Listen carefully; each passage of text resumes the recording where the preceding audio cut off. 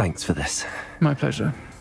I will say, trolls in Hogsmeade. That's never happened before.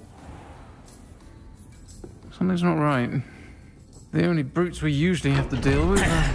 Uh, uh, oh, How timely.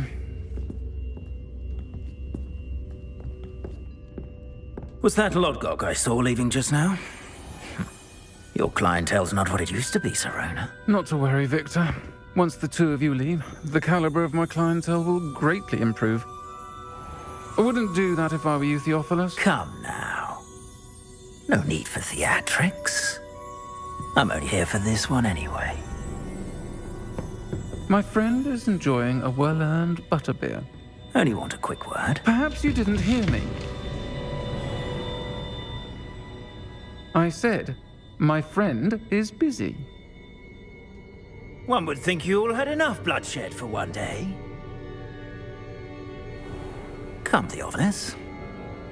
The Three Broomsticks isn't what it used to be. Let's take our galleons elsewhere. Can't drink butterbeer forever.